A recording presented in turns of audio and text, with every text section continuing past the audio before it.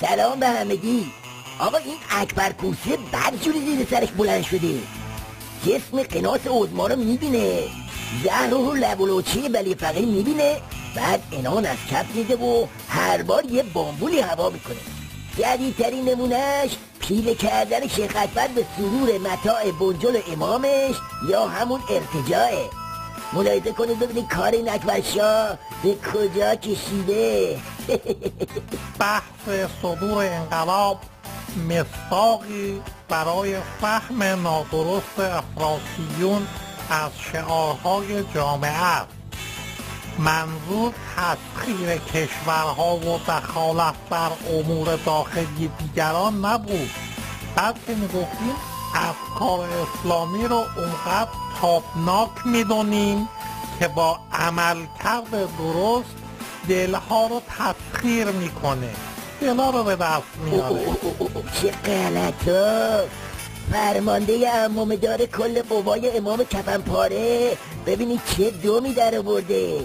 طرف برای قاپیدن امامه ولایت و راستانیز کردن تاج اکبر شاهی از لگت زدن به قبر امامشن طریق نمی‌کنه. ملیجک خمینی. مگه یادت رفته امامت پنج ماه قبل از شروع اون جنگ لعنتی چجوری تو کار تدارکات صدور ارتجاعش بود و تو هم کارچاق کنش بودی؟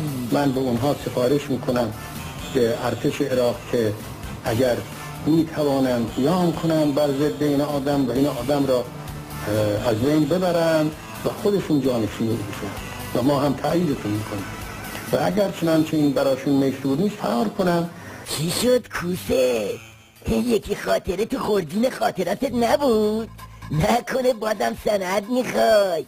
بیا بیا اینم حرفای وزیر پست و تلگرافت که از کاسلیسای دست آموز امام گوربگوریت بود.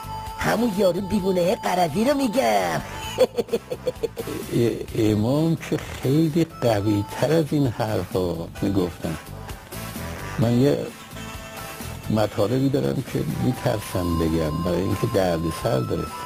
امام فقط به ایران فکر نمی‌کردن ذره بیشتر خیلی خیلی قوی تر فکر می‌کردن مثلا مخصوصا عراق رو خیلی خیلی خوب میشناختن وزراشو اینایی که میمدن ارتباط برقرار می‌کردن می‌رفتن میمدن و معلفه های اجتماعی رو خیلی خوب می‌دونستن و میشناختن. کار کرده بودن. یعنی اینجور ما بگیم حالا شاید شما بخوایم بیشتر بگیم خیلی بیشتر و برای جوان نه ما واقعا افقشون واقعا فراتر از این خیلی. این افق فراتری که گفت خاص اون دجال نبود. این خصیصه جدایی ناپذیر ولایت فقیه. بیا اینم از عزمای زهرخورده که خیلی دوست داره افقش فراتر باشه. اما افقش از چپقش هم نمیره. حضرت آیت الله خامنه ای با اشاره به حمایت های همیشگی ملت ایران و نظام اسلامی از هر حرکت عدالت طلبانه و ضد استکباری افزودند هر جا حرکتی علیه آمریکا و صهیونیسم روی دهد و هر ملتی که بر ضد دیکتاتوری بین المللی آمریکا و دیکتاتورهای داخلی قیام کند با حمایت ملت فهیم ایران روبرو خواهد شد. اما ماهیت حوادث سوریه با ماهیت حوادث دیگر کشورهای منطقه متفاوت است. حرکت مردم بحرین ماهیتا شبیه حرکت ملت مصر و تونس و یمن است و تفکیک میان این حرکات مشابه معنا ندارد. اگه می‌بینی سیدری بافون مثل سلفش خمینی اهل حرفای بیوسخون نیست. زیاد تعجب نکنی. این به خاطر تلس شکستگیشه حرف اصلی رو می‌ذاره تو دهن نوچه هاش بزبز قندی که معرف حضورتون هست نیست توی جنگ هشت ساله شما داشتید تو مرزهای عراق می جنگیدید ولی در واقع داشتید تو مرزهای جهانی می جنگیدید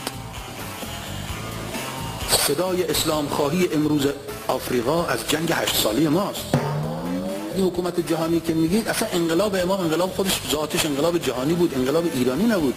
لذا امام می‌گفت صدور انقلاب صدور انقلاب اصلا جز ذات ای- ایدولوژی انقلاب ماست.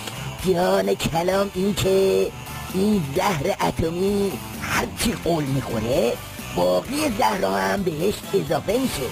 از زهر حقوق بشر بگی تا همین جام زهر منطقه‌ای که کوسه دستش گرفته. این آخر عاقبت شاه سلطان ولایته یا باید واپس به تمرگه یا اینکه نه تمرگه در هر حال آخرش مرگه